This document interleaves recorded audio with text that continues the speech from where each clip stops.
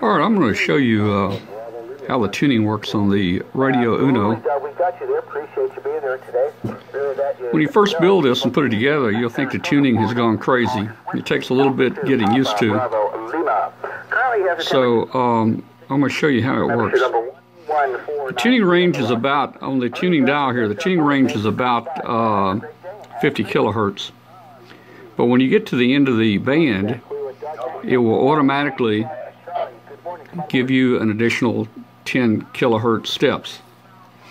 So if you want to, okay, so let me demonstrate this. Let's try to go down to uh, 7100. You're going to notice the tuning dial here will not go down to 7100. But as I get to the end, as I get to the end of the tuning dial, um, you'll start seeing the Raduino start automatically counting down.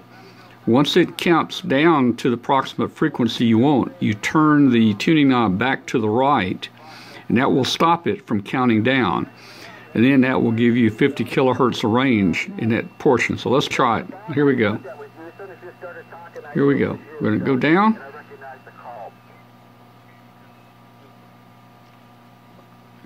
All right, I'm going to stop it right there. Now, to stop it, you noticed it was counting down, and to stop it, I turned the knob back to the right. So I'm at 70, 90. Now I should be able to tune in 7100. So if I tune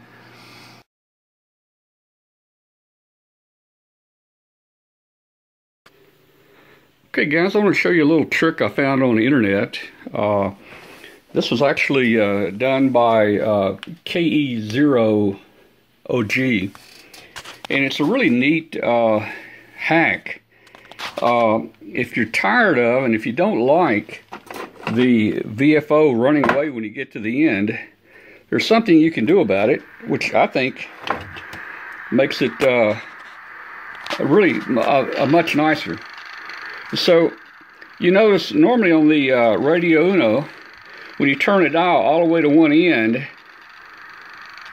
when you turn the dial all the way to one end, it starts automatically going up. Well, you can see here, I'm at the end, and it didn't automatically go up.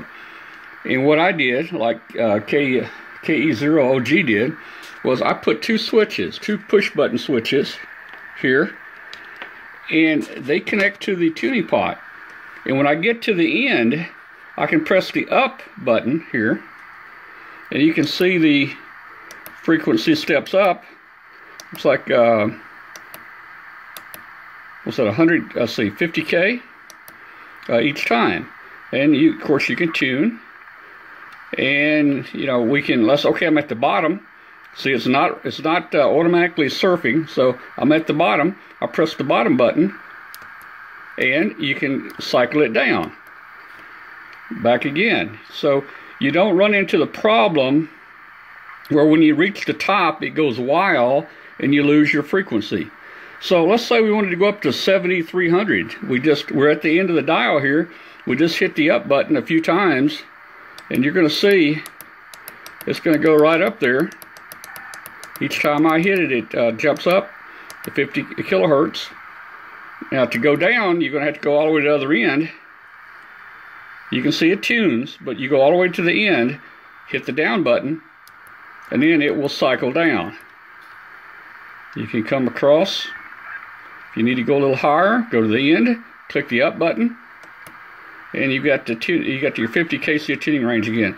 So I think that's a, just a great hack that uh, K0G uh, was able to do. Now you have to experiment with resistors, but I I uh, I used a uh, 47 ohm resistor, and I used a um, let's see what did I use 47k and a two 200 I used a 47 ohm and I used a 270 ohm uh, and two push button switches. That's all it takes to do this mod.